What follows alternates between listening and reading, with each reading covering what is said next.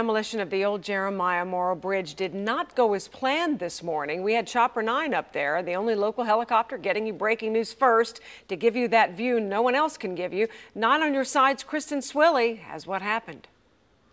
Well, the oldest portions of the Jeremiah Morrow Bridge are no more after a moment that was supposed to last a couple of seconds drug on for much, much longer.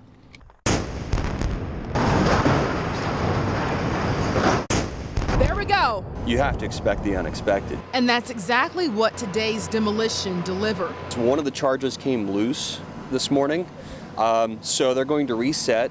Take a look at it. The bridge was scheduled to come down at 7. The team's family members even showed up to cheer them on. He's been here all week um, with his crew. Um, doing lots of little things. And um, yesterday he had a 30 minute task and he had to have a certain time where it wasn't raining and those sorts of things. So um, he's just been very busy working on it all week. But that first detonation was a dud, only destroying a part of one side of the bridge. Just have to check all those connections again and uh, and get ready to go again. Again, didn't come until nearly noon after hopes of bringing down the bridge two other times throughout the morning left onlookers waiting. Mishaps aside, Mark Newberg, who came here to capture the moment on camera, it's a big project. I think they said seven years you know, to complete. Is also hopeful this is the sign of newer, sturdier roadways throughout the state. And he's not alone. It's good to see our family being safe across it, of course. I have lots of friends who are afraid of the bridge.